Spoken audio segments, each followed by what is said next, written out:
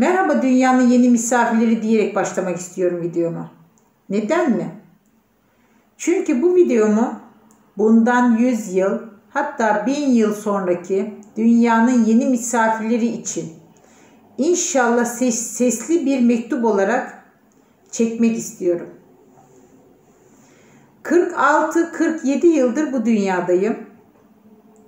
İnanın dünya benim doğduğum günkü dünyayla şu anki dünya bile o kadar farklı ki.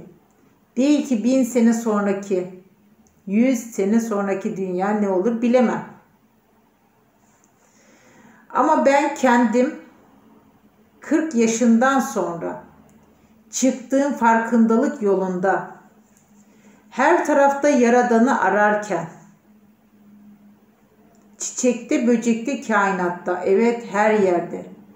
Ama tam yerinin burası olduğunu fark ettikten sonra hayata bakışım, dünyadaki olaylara bakışım, her şeyim değişti inşallah.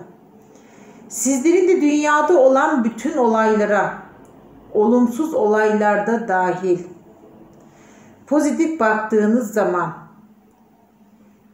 bu mekanın yani dünyanın yani kainatın sahibi yaradanla iletişim kurduğunuz zaman bu bol duayla her şeyin değişeceğini bilin.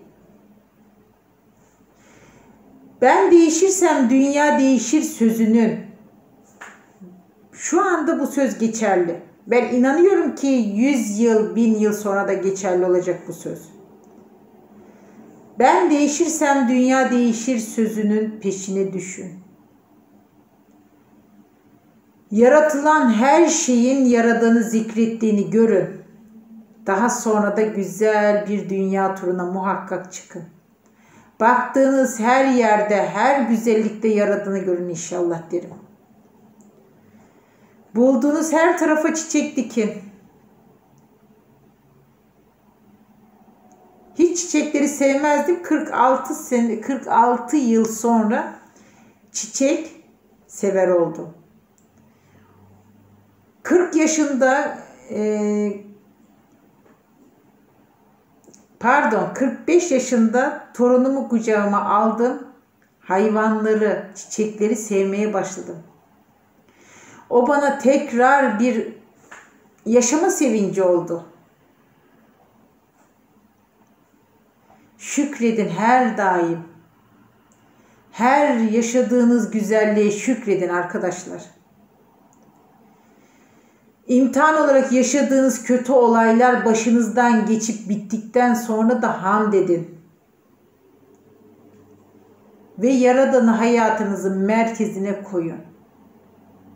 Ondan sonra bu dünyada olan olumsuz hiçbir şey bile sizi etkilemeyecek. Allah'ın izniyle bundan emin olun.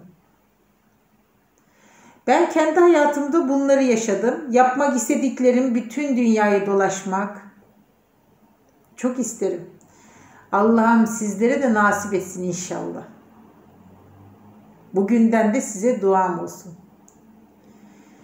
Çünkü dünyadaki bütün güzellikleri görürseniz Yaradan'dan bence benim düşüncem hiç kopamazsınız. Onu bulduğunuz zaman da hayatınız güzelleşir diye düşünüyorum. Teşekkür ederim. Aslında aklımda çok şey vardı. İstedim ki hiçbir yere bağlı olmadan anlatayım sizlere. Şu anda bu kadar anlatabildim.